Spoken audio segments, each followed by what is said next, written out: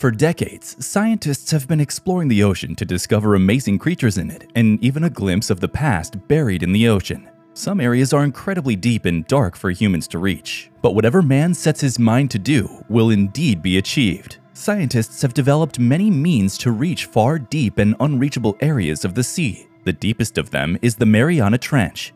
Mariana Trench is in the western Pacific Ocean it's named Mariana Trench because it's close to the Mariana Islands located on the southern side of the Philippines, the west-southwest of Hawaii, the northern side of New Guinea, and the south-southeastern side of Japan.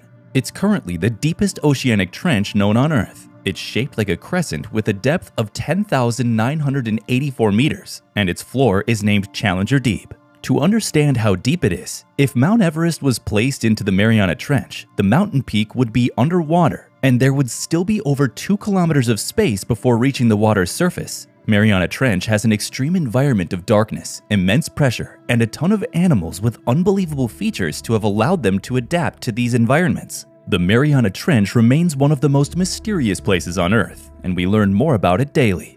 The trench was first sounded during the Challenger expedition in 1875 by lowering a weighted rope and reaching a depth of 8,184 meters. In 1899, another attempt was made by USS Nero with a record of 9,636 meters. Finally, a more precise and more effortless depth measurement called echo sounding was used in 1951. It was named Challenger 2 and it reached a record depth of 10,900 meters. Then they named the place Challenger Deep.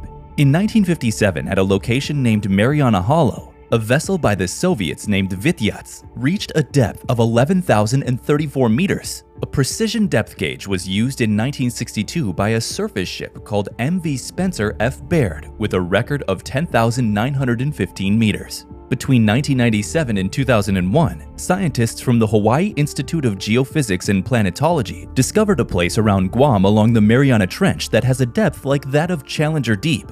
November 10, 2020, after other descents reached a Chinese submersible, Fendouzhe reached a depth of 10,909 meters at the bottom of Mariana Trench. We're going to be diving into the top weirdest creatures found in the Mariana Trench sea pigs. These animals are a genus of deep sea cucumbers, and they have enlarged tube feet that appear like little legs. They move through the top layer of sediment on the sea floor as they scavenge for their next meal by extracting organic particles from the deep sea mud. They like to live at depths of around 1 set 1,200 to 5,000 meters, about 3.11 miles, or 3,937 to 16,404 feet, about twice the height of Mount St. Helens, about 5 kilometers and they have been seen to have a strong preference for rich organic food that is freshly fallen from the surface of the ocean. Sea pigs tend to measure somewhere around 4 to 6 inches, and they have their natural defense mechanism. Their skin contains a toxic chemical that is poisonous to other creatures, making it a dangerous meal to attempt. Sea pigs are also known to host different parasitic invertebrates, but sometimes the relationship is commensal. Sometimes they like to provide shelter for juvenile crabs, which benefits the crab because it keeps them safe from predators by having a nice little homey shelter. Sea pigs are another creature designed specifically for the deep sea environment. Unfortunately, they disintegrate when brought up to the surface.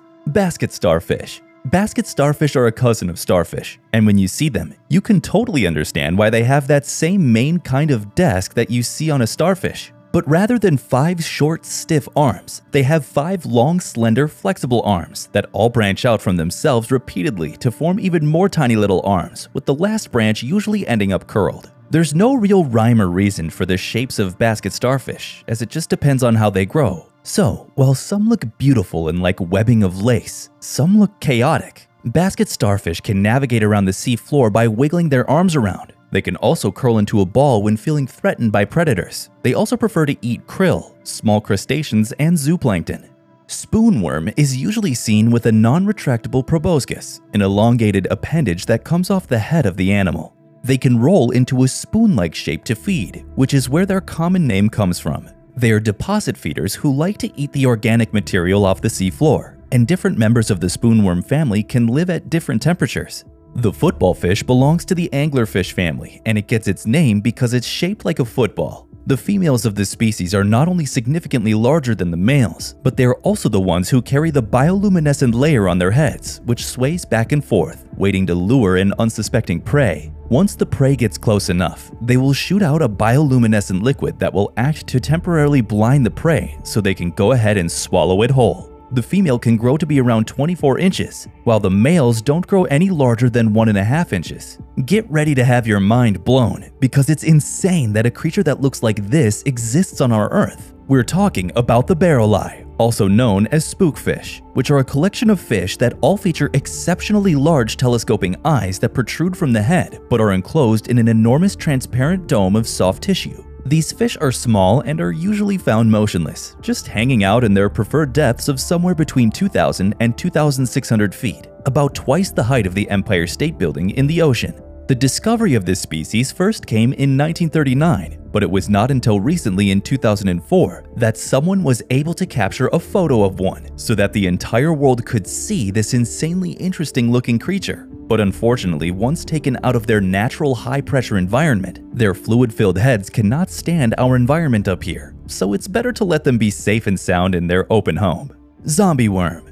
These worms were first discovered in 2002 when they were living in the bones of a dead whale's carcass 10,000 feet, about 3.05 kilometers, or 3,000 meters, about 1.86 miles deep in the ocean. The reason they have the name zombie worm is that their main food source is those same bones that they were first found living in. Zombie worms are happy to eat any kind of bone they come across, and they've been observed making a meal out of non-aquatic animal bones that somehow ended up in the deep sea.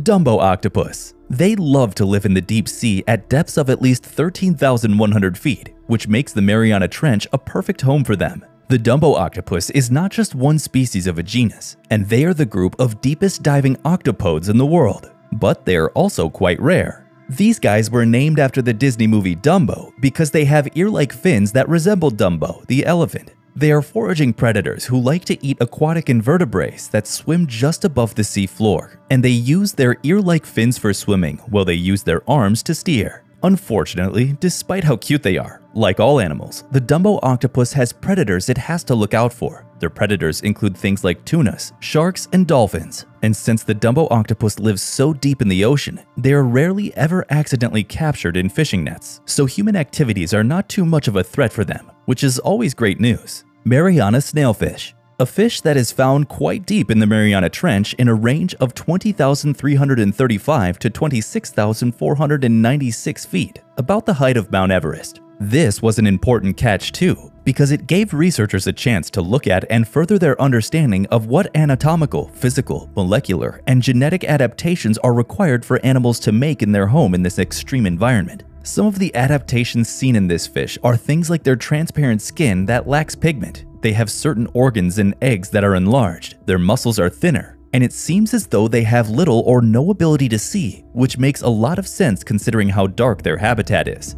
This obviously means they must hunt for their prey using other senses to detect any movement around them. So, what's your favorite creature from the Mariana Trench? Let us know in the comments below.